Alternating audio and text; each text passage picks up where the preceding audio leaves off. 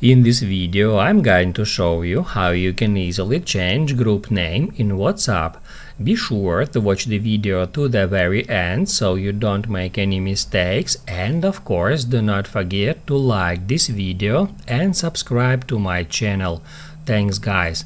So let's get started and uh, first off open up WhatsApp app and then go to chats. Then enter your group top add group's name at the very top and then select edit. You will be taken to the page where you can easily change your group name in that simple way as a regular text. Once you're done with that, tap at done. That's how you can easily change group name in WhatsApp.